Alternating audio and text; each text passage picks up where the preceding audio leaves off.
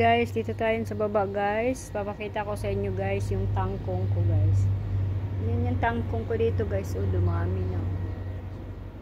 Hmm. Yun oh. Alaswag na yung tangkong ko dito oh. Hmm. Yun ang tanim ko dito na tangkong.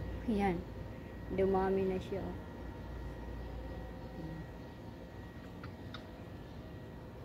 Parang may palaka.